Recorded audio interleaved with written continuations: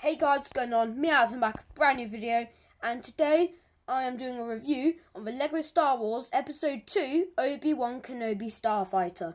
This Obi-Wan Kenobi Starfighter is based off of Le uh, Star Wars Episode 2, aka Attack of the Clones. Um, you, you, yeah, it's actually my dad's favourite film. I know, weird, right? My favourite Star Wars film is Rogue One. no, it's actually Rogue One. My favourite Star Wars film is actually Rogue One. But yeah.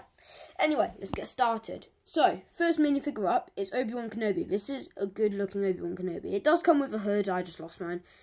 The hood actually works really well because actually, I think the hood on this actually works really well. Quite cool figure. Got the little speaker thing.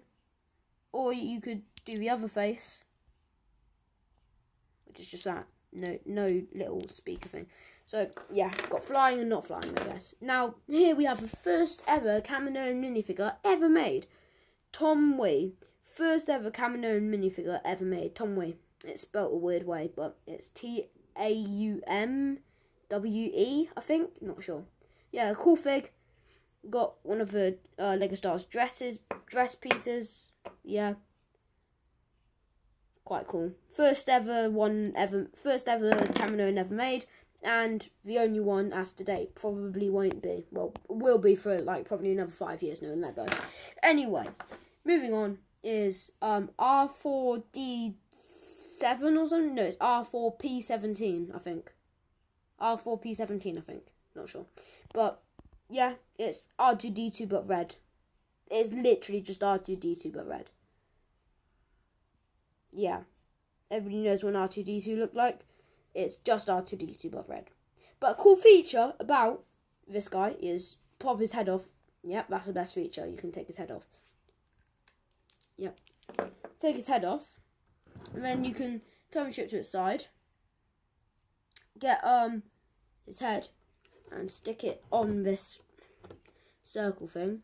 Hard to do with one hand, but yeah, and it spins. And just quick note, my thing here, the landing gear, you're supposed to have it like that, and it has like a little thing, but this, you if you can see, broke off. So yeah, that sucks. So it's hard to balance, but yeah. And now you're like, yeah, he got his head on, but what about his body?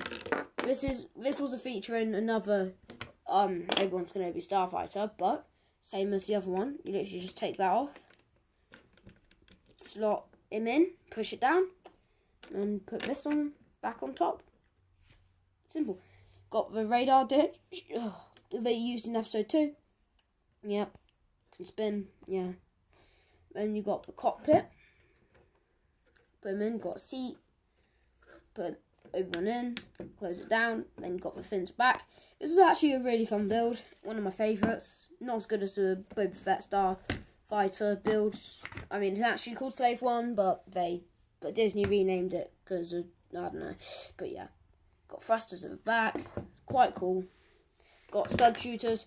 Did come green, but I, I lost one of them, and for some reason I don't have a spare green one because I just don't know why. And I didn't want to make it look mismatched, so I just replaced them and put red in.